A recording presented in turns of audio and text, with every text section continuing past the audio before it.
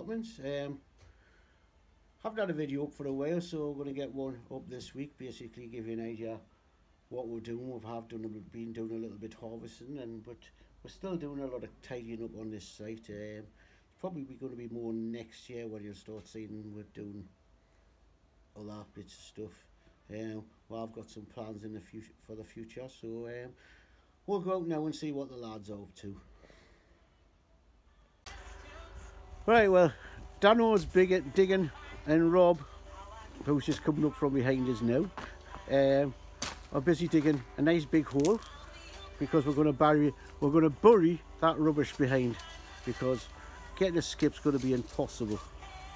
So they're digging a nice big hole to get all that in. Um, along here, there's onions, and as you notice, I used to have a lot of tatties here.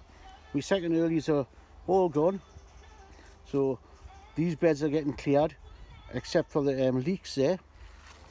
This bed is empty now. We're now just gonna we're actually gonna we're actually gonna strip it to hold all the wood off. Turn we're gonna turn it into a no dig. So we'll be getting that pulled up soon. Um, eventually that's going to be turned into a no dig. This is my brassica bed. Um, winter cabbages, sprouts at the top. We need to get in and weed it. Um, this bed's finished with. Um, basically, I ended up really putting nothing in this bed. Peas have all gone down, so all that's got to be dug over. Where tomato plants are doing well up there, so we're getting a harvest of tomatoes there. Um, this area is just the same as usual. We've got a rhubarb up there, apple tree over there, and um, a new gate over there. So um, basically that's really all I can show you from now. Um, what you know, we're all going to make plans in the future. What I want to do over here is uh, build a fruit cage. So I'm on holiday for two weeks, so we're going to look at getting that planned out. And um, as I say, once we get all this clear, all the, this is all tatties here. Once we get all these dug up, um, we're going to level this all out again and we're going to make this into no dig beds as well. So that's where plans for the future. So um, hope you enjoyed this this little video and um, please don't forget to put a thumbs up and subscribe and we'll catch you probably during the week. I'll probably put another one up and give you an update on what we've done. So Bye for now. Well, sorry everybody, but Dio, uh, Danno's build has now passed away. Rob's busy going ashes to ashes, dust to dust. Here doing a day DRD allotment. Um, we've just um, de-weeded this and that's what uh, winter cabbage and sprouts. Busy growing. We're clearing these beds out ready for the winter. Um, in here is still um, beetroot beetroot at the top um, which haven't grown yet. Well I have picked a load.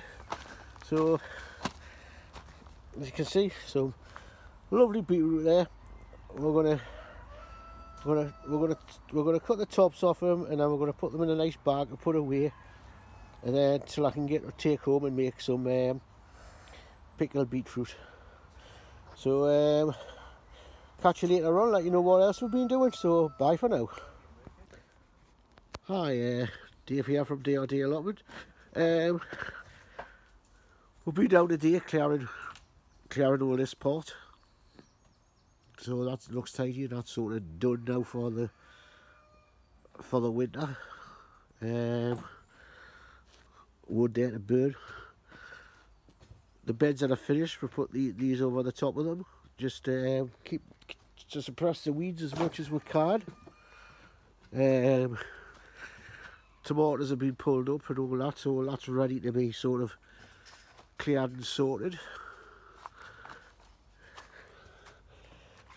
This uh, I'm going to get a uh, nice long uh, ground sheet put out and we're going to build beds onto here.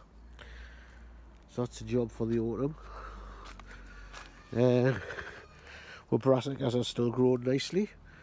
Sprouts at the back this bed's covered up. And um, we're going to start working on this part soon. Getting this tidied up. Now we can do put the rubbish over there it stay there. So I have sprayed down here but my sprayer's knackered it's sprung a leak. So I'm going to have to get a new sprayer because that's um, half full of um, weed killer. So when I'm putting pressure on it it's coming out at the bottom as well so it's somehow sprung a leak. So I'm going to have to go down to town and buy a new sprayer. Transfer that into there then I can spray the rest of this so it's going to be next week by the time I do that. Um, um, so basically we're now sort of winding down for the win for the winter months um, so it's basically I've been building some um, pallets up to make um, raised beds for in here. So get that we'll probably get them sorted the next couple of months and um, I'll do sort of videos of that when it's happening. Um, so we'll not be putting that much out as I say. I'm back to work next week so I'll probably just be down once or twice a week. Uh, Danny will be down more doing stuff probably clearing that clearing this top area. And um, so we'll keep you up to date as much as we can and uh, thank you for watching and don't forget to put a thumbs up and uh, subscribe so um, goodbye from me